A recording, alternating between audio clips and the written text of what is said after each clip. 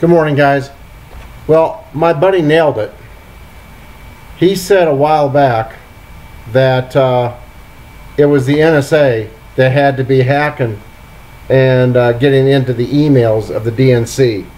He said they were the only ones that really had the ability to do that. Either that or one of the other intelligence communities, but most likely the NSA. And sure enough, uh, Lieutenant Colonel Tony Shaffer, he went on with uh, Hannity on Fox. And Shaffer told Hannity former NSA operatives who were fed up with the Clintons are the ones who hacked into the DNC and gave the hacked Podesta emails to WikiLeaks. The Democrats do not want to talk about this, and it is probably why the DNC refused to allow the FBI to look at its hacked server, Shaffer said. Um, and then uh, Tony Shaffer, Sean, we did it. Not me, but our guys. Former members of NSA, retired intelligence officers, used these tools to break in in there and get the information out. That's what the Democrats don't want to talk about because it doesn't fit their narrative. You know, I mean, it makes it, it makes perfect sense. I mean, who else had the ability to do this? Very few, very few, and um, uh, they would rather blame it on Russia. They don't want, and the reason that they don't want want it known that it was our own people doing it to them is because then they would have to admit it's like, oh, well, yeah, people in our own government can't even stand us. It's because they're so corrupt. They knew what they were up to. They knew, number one, that these people belong in jail. They knew they were pedophiles.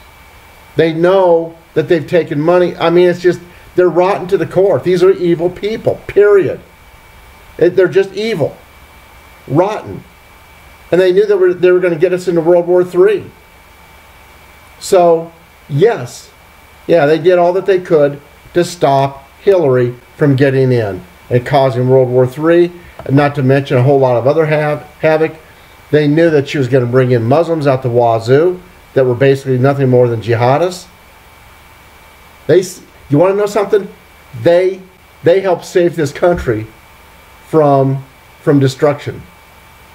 So you've got retired NSA people and maybe some current ones, and 75% of the Americans who voted for Trump, and the big guy, God. They really didn't, they really weren't thinking, because you know something? They don't believe in God. For those that do any sort of worshiping, they either worship themselves or they worship Satan. Satan down there, I guess. That's what they do. They're satanic worshippers. Or they just worship money. Or they just don't worship anything. They're just sick people. They're just sick. Anyway, guys, that's all for now. I'm heading outside, get some exercise. I'll talk to you later. God bless y'all. Bye bye.